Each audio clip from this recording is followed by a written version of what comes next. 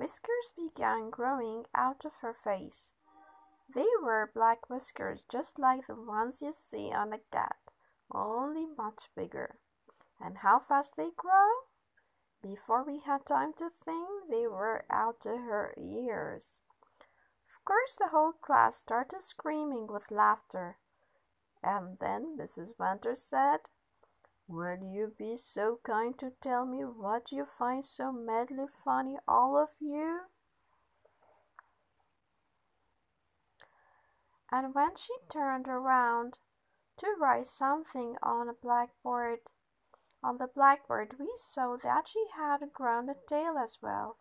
It was a huge bushy tail.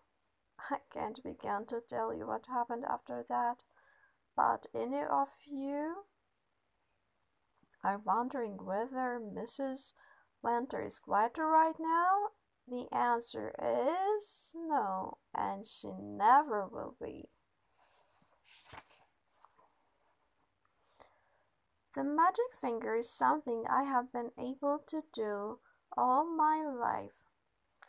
I can't tell you just how I do it because I don't even know myself.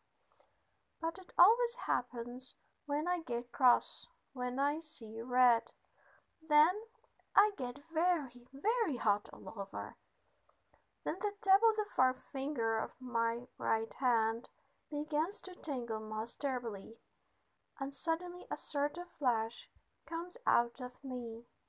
A quick flash like something electric.